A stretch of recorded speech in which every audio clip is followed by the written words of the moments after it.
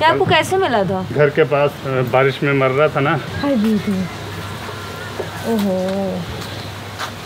कल डॉक्टर ने बड़ा ठीक कर दिया था फिर सुबह इसने पंजे पिछला पंजा दे के ना पूरा दिया उखाड़ दिया इसे यार। इसका कट कैसे लगा? है इसका तो कुछ अंदाज़ा नहीं है अभी। लेकिन हाँ इन्होंने ट्रीटमेंट इसकी कराई थी। सूचर वगैरह लगवा दिए थे। लेकिन जो पपी है थोड़ा शैतान है उसने पैर से स्क्रैच कर करके सूचर्स फाड़ दिए। हैं दोबारा फिर इसको हॉस्पिटल लेके गए थे तो वहाँ से फिर से एंटीबायोटिक्स वगैरह इसके शुरू हुए हैं। कि वहाँ पे ओपन में रहता है तो ऐसे में तो घाव भर नहीं पाएगा, इसलिए जब तक इसका घाव नहीं ठीक हो जाता, तब तक ये हमारे पास ही रहेगा।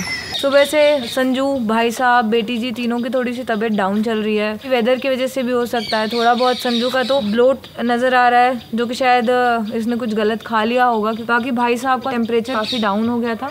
हमने उसको अच्छे से अंदर सेटल कर दिया है काउशेड में। अच्छी सी बेडिंग दे दी है और स्वेटर वगैरह पहना दिए हैं। सृष्टि ये क्या है?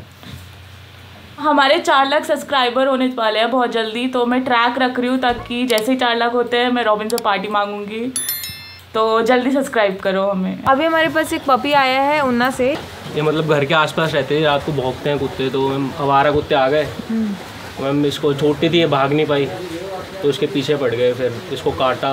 इसका जो जबड़ा था ना, नीचे सारा गिर गया था। रेस्क्यू का दायरा आठ किलोमीटर का है, हम केसेस लेते भी नहीं है, उतने दूर के, क्योंकि जगह की दिक्कत होती है। लेकिन हाँ आप लोग इतना कोऑपरेटिव थे कि भाई आपने ऑलरेडी इसकी सर्जरी वगैरह करवा दी। जब आप इतना कर रहे हो तो फिर हमारा ऐसा हुआ ना कि हम इसके लिए थोड़ा बहुत अभी, जैसे कैमरे अभी थोड़े खाली भी हैं, और जगह हम लोग थोड़ी बहुत मैनेज कर सकते हैं, इसलिए ये केस इतना मैंने इतने दूर से बुलवा लिया। अभी बस इसको दो महीना हमें ऑब्जर्वेशन में रखना है और उसके बाद इसकी जब कंडीशन पूरी तरीके से सुधर जाएगी फिर इसकी पिन रिमूव करनी है यहाँ से। बाद में हम देखेंगे अगर वो खुद उससे लेकर जाते हैं या फिर हमें इसे अडॉप्ट करवाना है। मेरे तीन बेटे हैं मैंने बड़े प्यार से बड़े हैं। बीच वाला बेटा है। तो हम तो बच्चों की तरह रखूँगा मैं इनको। कल इसका एक्सीडेंट हुआ था। एक जेसीबी शायद इसके ऊपर चढ़ी है, बता रहे थे वहाँ के जो लोग थे। और जबकि वो चढ़ाई पे चढ़ रहा था, फिर भी इसके ऊपर गाड़ी चढ़ा दी उसने। इसका फीमर फ्रैक्चर है। साथ ही साथ उसके दूसरे पाँव में भी जख्म और लेसरेशंस हैं काफ़ी। अभी इसका सर बता रहे फ्रैक्चर है। इसका जो जॉइंट है ना फीमर वाला और टीबिया का जो जॉइंट है हो सकता है टक्कर की वजह से थोड़ा सा हिल गया है। प्रॉब्लम ये है ना कि पालमपुर में कोविड की वजह से भी बंद है हम फिर भी आज एक बार कोशिश करेंगे कि अगर एक्सरे हो पाए इसका। चरण दास ने मारा था ना इसको। खुरली में गिरा हुआ था तो उठा के फिर बाहर निकाल ये चाचू है यार और चरणदास से शायद इसकी कोई लड़ाई हो गई होगी रात में जिसकी वजह से उसने उसको किक मार के गिरा दिया होगा। और उसका ये पोर्शन काफ़ी ब्रूज हो गया है गिरने की वजह से और आँखें भी सूज गई है। कुणाल नैनानी जी ने अहमदाबाद से हमें कस्टमाइज मास्क भेजे हैं जिसमें पीपल फार्म का प्रिंट भी है लोगो और यहाँ पे गो वीगन लिखा है। साइज़ तो आ जाएगा ना मेरे को पूछ रहा है। मेरे को नहीं आया। और दिनेश का सवाल था कि इसमें और प्रिंट है या एक ही है? इन लोग का डिमांड कभी खत्म नहीं होता सच में। लोग ऐसे डॉग्स में भी करते हैं ना। कि इस कलर का है क्या? और और आए हैं क्या डॉग अभी? देसी इज़ द ओनली ब्रीड ये बालों की मैम का हेयर स्टाइल चेंज हो गया ना थोड़ा अलग सा लग रहा है। खैर चंबी जाना है ना बुल का रेस्क्यू जल्दी से हंस लो। नहीं नहीं हंस लो। यार ज्योति वो सुबह हमें जो बिल के लिए रेस्क्यू टीम भेजा था उसका क्या हुआ कि उसके पैर में बहुत ज़्यादा टाइट रस्सी किसी ने बाँध रखी थी और उसको कोई नीचे ले जा रहा था दौड़ाते हुए। तो रविंदर जी सुबह उन्होंने देखा और वो तुरंत आके उन्होंने मुझे बताया और चंबी क्योंकि नज़दीक है हमने भेज दिया था उस टाइम पे और हालाँकि मुश्किल था उसको पकड़ना वो बहुत अग्रेसिव बैल था। तो डार्ट गन वगैरह यूज़ हुई लेकिन उसको बेहोश किया था और उसके बाद उसके पैर की रस्सी काट दी और उसका घाव बहुत ज़्यादा तो था नहीं बस बनना शुरू हुआ था। तो रस्सी से रगड़ बस लगी थी।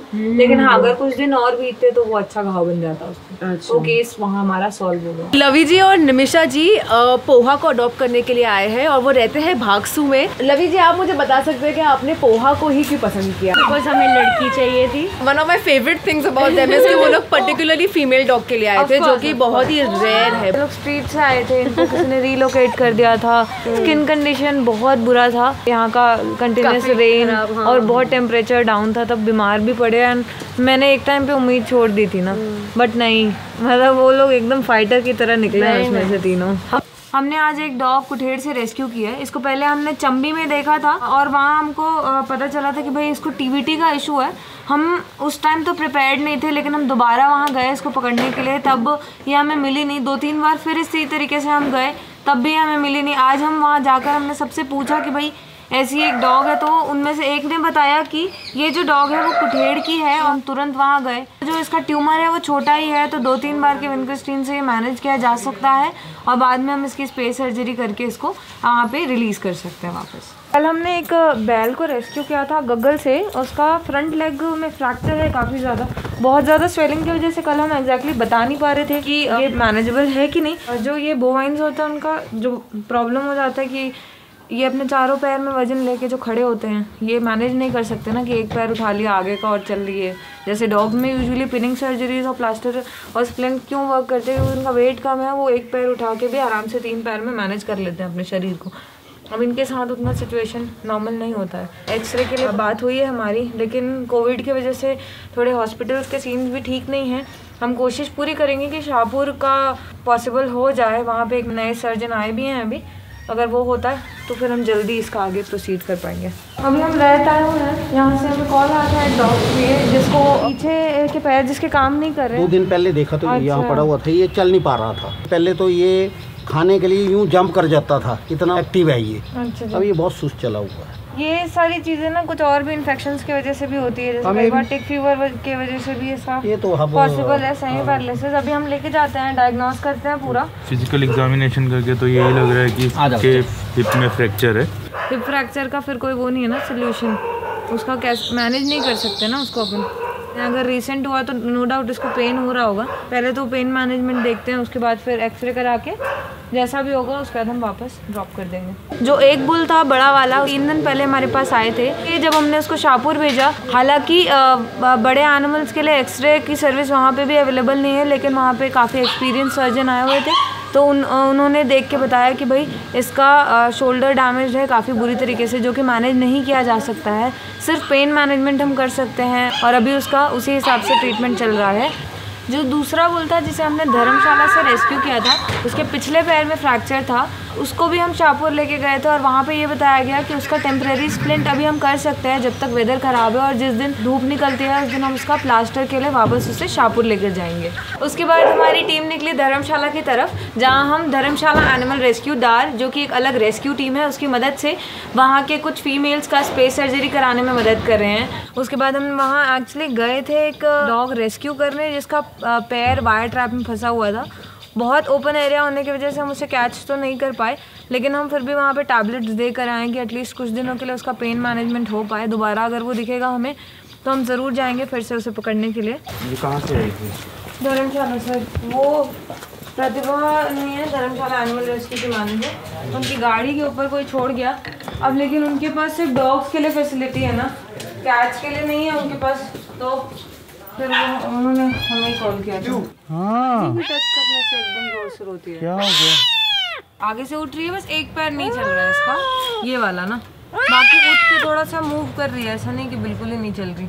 जो इसकी राइट फ्रंट लेग है उसमें इंजरी है। विजिबल इंजरी नहीं है ट्रोमेटिक है मे बी कहीं से गिरी हो या फिर मे बी डॉग्स ने पकड़ के इसे थोड़ा झंझोल दिया हो। अभी पेन में है बहुत इस वजह से इतना प्रॉब्लम आ रहा है। होपफुली एक दो दिन पेन किलर चलेगा तो ठीक हो जाएगी। रात दिन को फ़ीड करके आ रही हूँ ना तो मेरे को पंद्रह मिनट एटलीस्ट लगेगा, कोई ज़रूरत हो तो मेडिसिन रूम खुला है। इस वाले को तो कुछ भी चोट नहीं लगी है काफ़ी फ्रेंडली भी है तो इसको तो हम सीधा अडॉप्शन में ही पुट करेंगे।